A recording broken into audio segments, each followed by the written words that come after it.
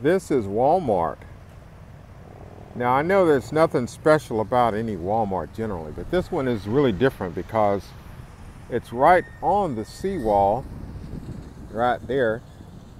The sea is just beyond those palm trees.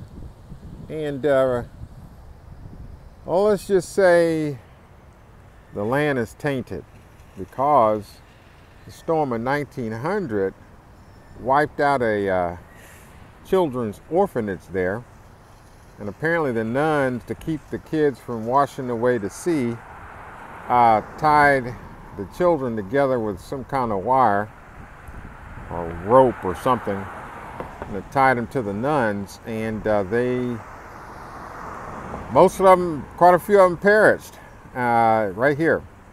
So I uh, got swept out to sea. So at night, around three or four o'clock in the morning, which is the demonic hour, um, you can see things flying off the shelves and nobody's around. Uh, you can hear children laughing. Uh, you can see images of nuns walking through the aisles.